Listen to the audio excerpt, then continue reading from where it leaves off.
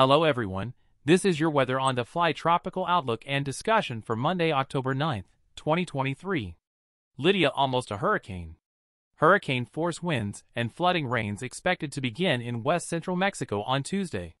At 3 p.m. Mountain Daylight Time, the center of Tropical Storm Lidia was located near latitude 18.1 north, longitude 110.9 west. Lidia is moving toward the east-northeast near 8 miles per hour. Maximum sustained winds are near 70 miles per hour. Minimum central pressure is 985 millibars. Tropical storm force winds extend outward up to 80 miles from the center.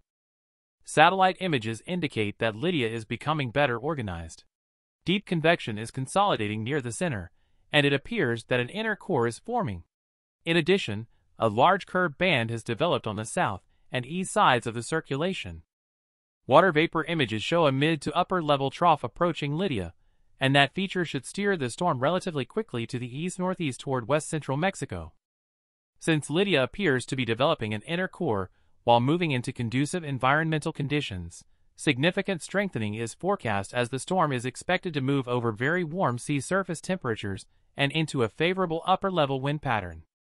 Lidia is forecast to be a 100 miles per hour Category 2 hurricane as it makes landfall along the west-central Mexican coast Tuesday evening. Rapid weakening is expected once Lidia moves inland due to the rugged terrain in west-central Mexico. Be sure to subscribe for future tropical cyclone updates.